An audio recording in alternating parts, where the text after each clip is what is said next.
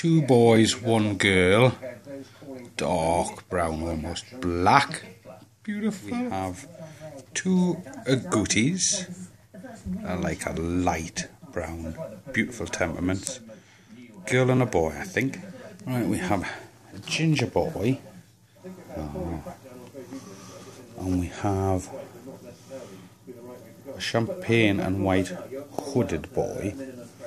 And I do believe we have a little champagne girl.